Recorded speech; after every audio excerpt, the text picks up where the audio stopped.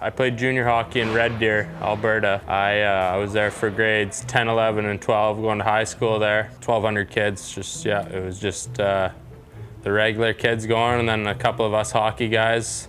We'd only take about two or three classes, uh, you know, each day. So in the morning it'd be whether it's 8 a.m. till 11 o'clock. Um, they were only hour classes. Um, and then we had practice at 1 o'clock.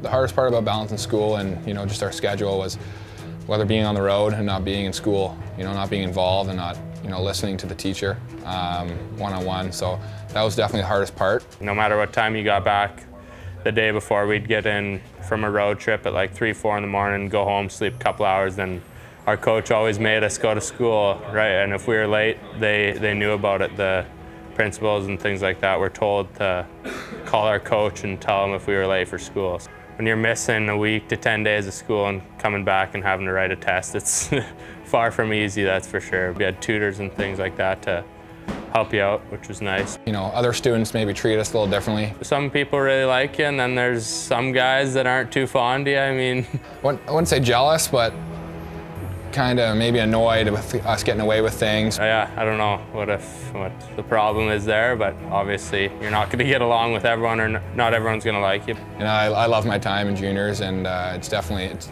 it's privileged, and uh, I enjoy my time there.